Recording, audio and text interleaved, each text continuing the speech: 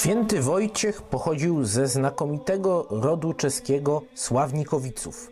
Oddany na naukę do biskupa magdeburskiego Adalberta, przyjął imię jego na bierzmowaniu i odtąd znany jest pod tymi dwoma imionami. Po śmierci Dytmara został biskupem praskim. Dwukrotnie z powodu grzechów ludu opuszczał swoją diecezję. Wreszcie za pozwoleniem papieża udał się na nawracanie północnych Prusów. Trzy lata zabawił w Gnieźnie jako biskup tego miasta, ale gdy udał się do Prusów, poganie zamordowali go w czasie odprawiania Najświętszej Ofiary w roku 997. Bolesław Chrobry sprowadził jego ciało do Trzemeszna, a następnie przeniósł do Gniezna.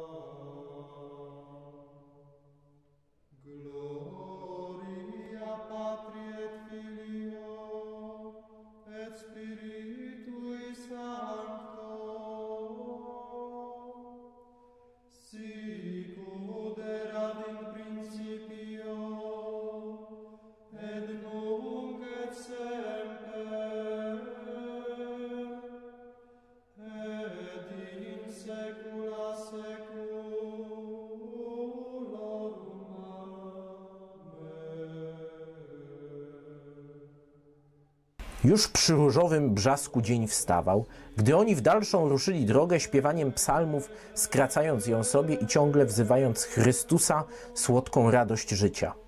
Minąwszy knieje i ostępy dzikich zwierząt, około południa wyszli na polanę. Tam podczas mszy odprawianej przez Gaudentego święty mnich przyjął komunię świętą, a po niej, aby ulżyć zmęczeniu spowodowanemu wędrówką, posilił się nieco. I wypowiedziawszy jeden werset oraz następny psalm, wstał z murawy i zaledwie odszedł na odległość rzutu kamieniem lub wypuszczonej strzały, siadł na ziemi. Tu zmorzył go sen, a ponieważ znużony był długą podróżą, więc całą mocą ogarnął go senny spoczynek.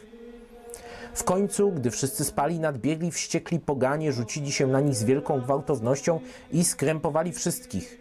Święty Wojciech zaś, stojąc naprzeciw Gaudentego i drugiego brata związanego, rzekł: Bracia, nie smućcie się, wiecie, że cierpimy to dla imienia Pana, którego doskonałość ponad wszystkie cnoty, piękność ponad wszelkie osoby, potęga niewypowiedziana, dobroć nadzwyczajna. Cóż bowiem mężniejszego, cóż piękniejszego nad poświęcenie miłego życia najmilszemu Jezusowi? Z rozwścieczonej zgrai wyskoczył zapalczywy Sikko i z całych sił wywołając, z całych sił wywijając olbromnym oszczepem, przebił na wskroś jego serce. Będąc bowiem ofiarnikiem bożków i przywódcą bandy, z obowiązku niejako pierwszą zadał ranę.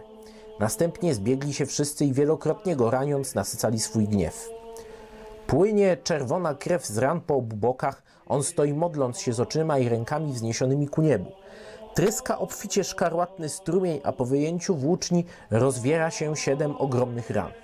Wojciech wyciąga uwolnione z więzów ręce na krzyż i pokorne modły śle do Pana o swoje i prześladowców zbawienie. W ten sposób ta święta dusza ulatuje ze swego więzienia, tak to szlachetne ciało wyciągnięte na kształt krzyża bierze ziemię w posiadanie, tak też skutkiem wielkiego upływu krwi wyzionąwszy ducha, w krainie szczęścia rozkoszuje się wreszcie najdroższym zawsze Chrystusem. O jak święty i błogosławiony to mąż, na którego obliczu zawsze jaśniał blask anielski, w którego sercu zawsze Chrystus przemieszkiwał. Jak pobożny i wszelkiej czci najgodniejszy, wtedy rękoma i całym ciałem objął krzyż, którego zawsze pragnął i w duszy swej nosił. Umęczon był zaś Wojciech, święty i pełen chwały męczennik Chrystusa 23 kwietnia i to w piątek.